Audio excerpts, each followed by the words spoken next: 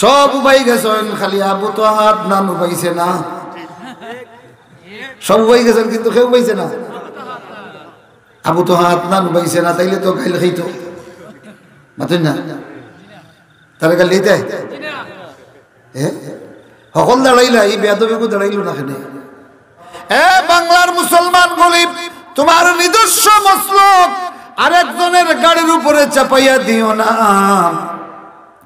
তোমার নিজস্ব মসলক হইল তুমি দাঁড়াইয়া দুরুদ ফর্তায় আরেকজনে এইটা পছন্দ করে, তাইলে তারে কুলাঙ্গার হওয়ার এখতিয়ার তোমারে কে দিল?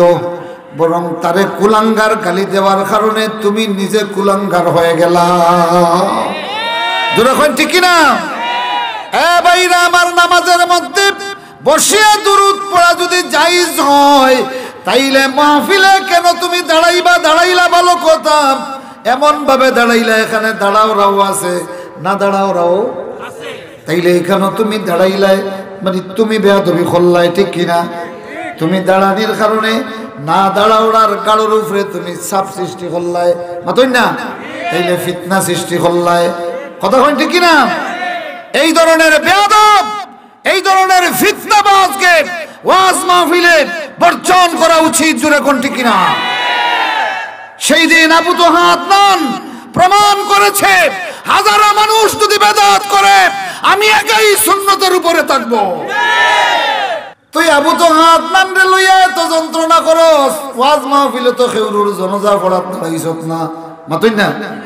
যদি এখানেও জনজা পড়তো, আর আবু তো হাত নান দাঁড়াইতো না, তাইলে অবশ্যই তারে নিন্দা করার দরকার আছিল। মাতই না? ইনো তো তোর কোনো গু মরছই না ফালদি দাঁড়াই গেলে কি? কথা হয় আমার বাইরা দাঁড়াইয়া দাঁড়াইয়া দাঁড়াইয়া দুরুদ পড়ার একমাত্র তরিকা আছে জানাজার নামাজও খানো। লক্ষ মানুষেও যদি বিদাত করে, আমি একা সুন্নতের উপর থাকব, পারবেন ইনশাল্লাহ সারা দুনিয়ার মানুষ যদি বেদাত করে, আমি একা রসুলের সুন্নত দাঁত দিয়ে আঁকড়ে ধরবো। রাজি আছেন? এইটার নাম হলো ইমান এইটার নাম কি? বিদাত যারা করে তাদের মধ্যে মুনাফিকি পয়দা হয়। সুন্নত যারা আমল করে তাদের ইমান তাজা হয়। সুবহানাল্লাহ আমার ভাইরা দুরুদ পড়ার নামাজের তরিকা আছে কি নাই? এটা বসিয়া পড়ি না দাঁড়াইয়া পড়ি। এই জন্য গোলাপ জল লাগেনি আগরবাতি লাগেনি সিন্নি লাগেনি। ওলাম্মা তাম্মা লাগেনি। কথা কই না? তাইলে এখান কি বুঝো না নিকিতা আজানের মধ্যে দুরুদ আছে, ওলাম্মা তাম্মা লাগেনি। কথা কই এরপরে আসেন সালাম। রসুল রে সালাম দেওয়া হয় নামাজের মধ্যে। আত্মাহিয়াতু ফড়ক কাছে দেখি। আত্তাহিয়াতু লিল্লাহি আসসালাওয়াতু ওয়াত এরপরে কি? জুড়ে হওয়া লাগবো জুড়ে হওয়া ইতা সালামে হইতো না, আরও জোরে। আসসালামু আলাইকা আইয়ুহান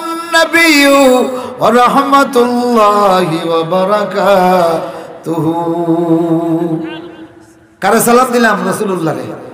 আসসালামু আলাইকা আইয়ুহান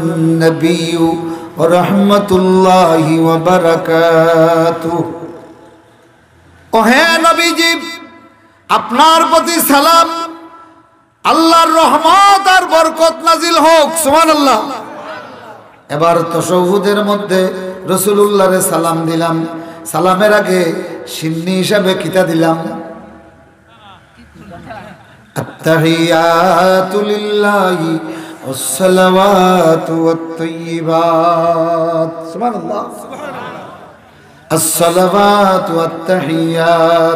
লিল্লাহ। সমস্ত ভালো ভালো সম্ভাষণ আল্লাহর জন্য, সমস্ত তৈবাত আল্লাহর জন্য, সমস্ত ইবাদত কার জন্য? এইটা বলার পরেই সালাম দিলাম কারে? আসসালামু আলাইকা আইয়ুহান নাবিয়্যু ওয়া রাহমাতুল্লাহি ওয়া বারাকাতুহু। এটা বইয়া পড়ি না বইয়া পড়ি? এইটা পড়ার জন্য আগে ওলাম্মা তাম্মা লাগেনি। কথা কইন লাগেনি? সিন্নি লাগেনি, আখনি লাগেনি। বিনা সিন্নি বিনা আখ নিয়ে যদি দুনিয়ার সবচেয়ে মুবারক সালাম দেওয়া যায় নামাজের মধ্যে, এটা সবচেয়ে মকবুল সালাম। সুবহানাল্লাহ। ও ভাইরা, আমার এই সালামটা জানেননি কার পক্ষ থেকে? আমরা বান্দা হইয়া আল্লাহর পক্ষ থেকে নবীরে সালাম দেই। আল্লাহ আকবার। এ ভাইরা, আমরা বান্দা আল্লাহর পক্ষ থেকে সালাম, ওইটা রসুল্লাহরে পাঠাই। এর চেয়ে বড় সৌভাগ্য আর কি হতে পারে? সুমান আল্লাহ হুকা।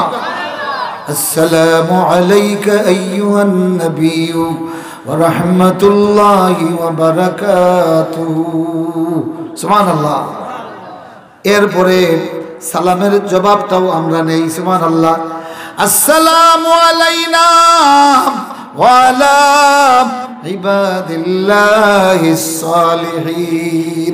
আল্লাহ সালাম দেই। সালাম সাথে সাথে সালামের জবাবটাও আমরা দেই। আল্লাহ বলেন, আমার বন্ধুরা, আমার ভাইরা শোনেন, ভালো করে শোনেন। রসুল্লাহর মোহাম্মদ নাম যতবার শুনবেন, ততবার দুরুদ পড়া সুন্নত।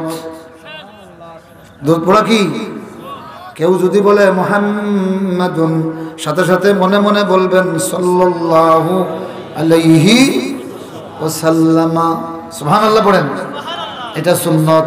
এটা কি? তো এখানেও সিন্নি লাগেনি, আখনি লাগেনি, ওলাম্মা তাম্মা লাগেনি। এখন আপনি যদি বন তখন বস বন, যদি দাঁড়িয়ে তখন তাইলে দাঁড়াইয়া কতক্ষণ ঠিক না